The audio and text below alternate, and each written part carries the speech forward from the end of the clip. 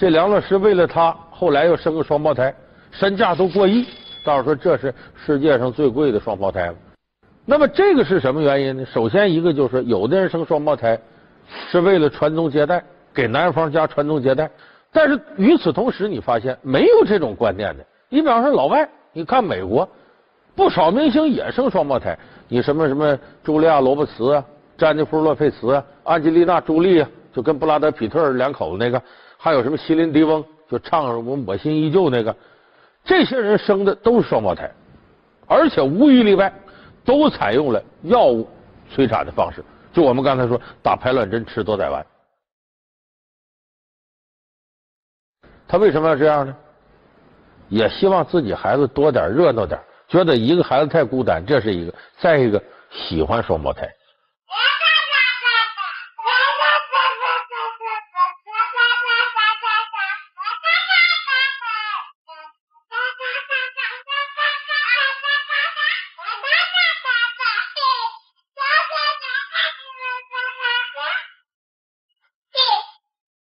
这也难怪，喜欢双胞胎那不是说亲爹亲妈喜欢，就咱们平常走大街上，你看民间有管这叫叫一对双的，哎，双胞胎孩子抱出来了，哎，俩人一模一样，有的小孩这么大点穿着打扮都一样，哎呀，你看着打心眼里喜欢，因为中国人做什么事儿都愿意成双配对你咱们收藏都知道，瓷器小柜子要成对的，那价比单个的成二的钱都值多出好多。所以咱们喜欢这个东西是吧？其实双胞胎，你不光说是喜欢它，双胞胎本身还是现在人类科学一个没有能研究透彻的领地，里头有好多奥妙。你说双胞胎，咱往大了说，它的功能在哪儿呢？双胞胎，咱们现在有不少的人搞器官移植，就是从双胞胎那开始才有的。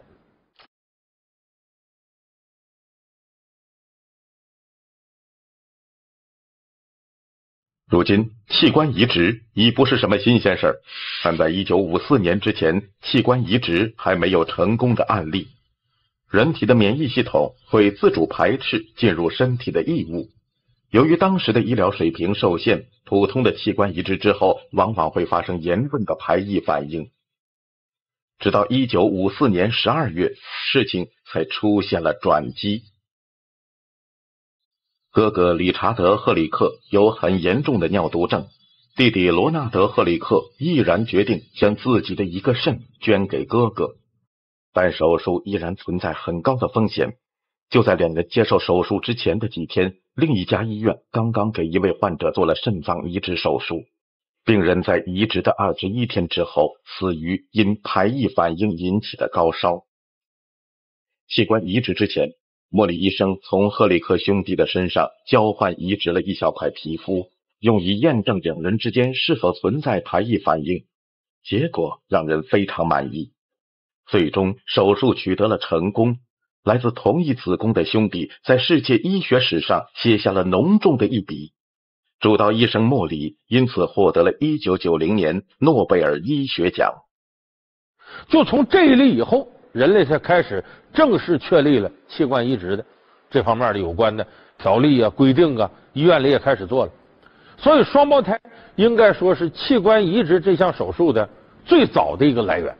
双胞胎和双胞胎还不一样，有同卵双胞胎、异卵双胞胎。同卵双胞胎呢，顾名思义，就是来自一枚受精卵，这一枚受精卵里分开，哎，分成双胞胎。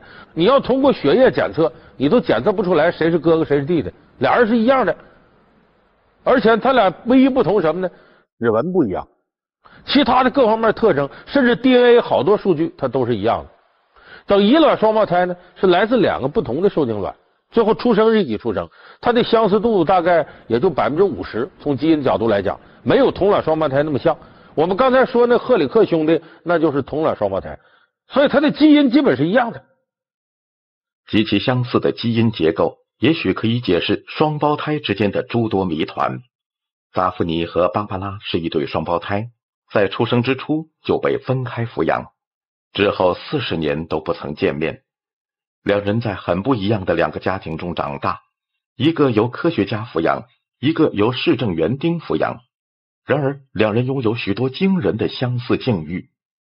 两人都在十四岁停止求学，都在十六岁开始恋爱，都在二十岁出头嫁给青梅竹马的伙伴，又在相同年纪经历流产。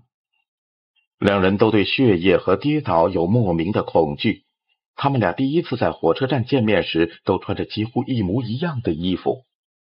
这些巧合似乎又让人无法否认，在双胞胎之间似乎真的存在着某种特殊的联系。再一个，我们再看双胞胎在生活当中给我们带来了好多呀，就神奇有趣的现象。相传，每一对双胞胎之间还有一种特殊的能力——心灵感应。这种能力真的存在吗？什么原因让人们相信他们拥有这种神奇的能力？老梁观世界，人人都爱双胞胎正在播出。都说双胞胎呢，心灵感应。说你比方，他这打个喷嚏，他那头就感冒；他这这道数学题算是算对了，他那边也算对了；他这道题解错了，他也解错了。就很多民间传说这个啊，说这个姐妹俩参加高考去，他打四百分，他也打四百分，甚至哪科都一样，传的神乎其神。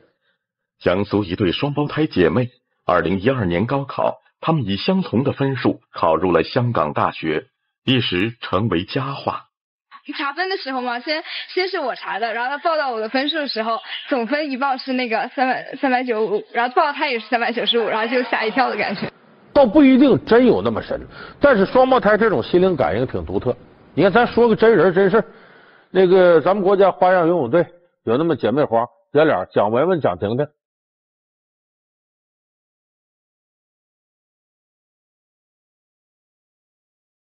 蒋雯雯是姐姐，蒋婷婷是妹妹，这是双胞胎长得一模一样。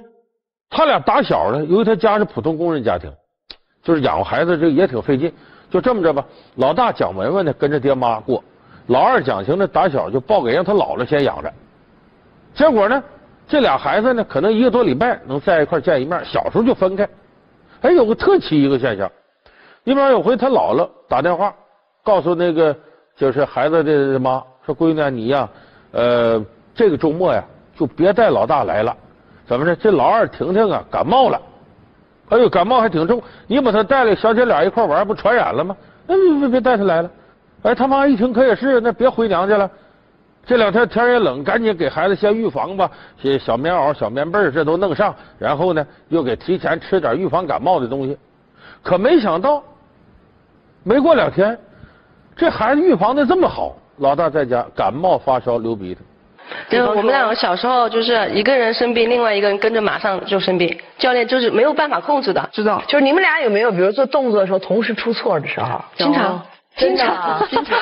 教练看不出来。教练都教练看不出来，俩人都错，就是很整齐嘛，就是同一拍，同一个地方，同一个角度，都是一样的。教练就看不出来。然后我们俩起来对看一下，我刚刚做错了，我也是做错了。他们说这个感应太神奇了，你在国外也有这事儿。有那么这个同卵双胞胎，有一天晚上这弟弟在家里啊，正睡觉，突然肚子疼，疼醒了。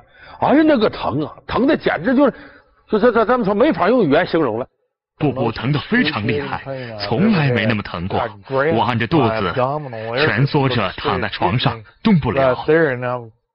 送到医院检查，没有任何地方就有病变。你内脏啊，外头哪哪也没有伤，也没有什么病变。说这怎么回事呢？哎，疼了大概有半个小时，这劲儿过去了。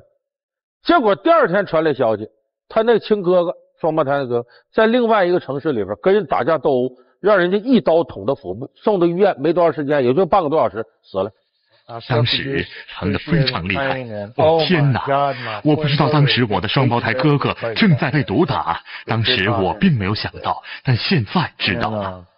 时间什么都吻合。这边肚子疼就不行了，就真跟肚子上挨了一刀似的。你看看，对于李克描述中的神奇感应，他的家人对此深信不疑。我坚信，李克真的体验到了罗恩被打时的剧烈疼痛。针对李克的神奇体验，《双胞胎世界》杂志的编辑雷蒙德·布兰特表示，这并不稀奇。我这么说并不因为我是双胞胎之一，而是事实上让人不得不信，因为在双胞胎圈子中普遍存在这种现象。然而，要想说服所有人相信这种非凡感应的真实存在，似乎并不容易。回顾过去一百年的研究历史，你会发现，并不存在证据证明超感知现象的存在。这种观点一直存在，但无法用实验来证明超感知现象。也有人将李克的故事归于其他原因，而更多人认为这只是一次巧合。我们可以这样认为，在某一个特定的时间，李克身体剧烈疼痛。碰巧，同时他的哥哥被杀。然而，李克认为他和哥哥的死亡之间有意义重大的某种关联。但是，不论这感应是否属实，都无疑让家人对哥哥的思念愈发浓重。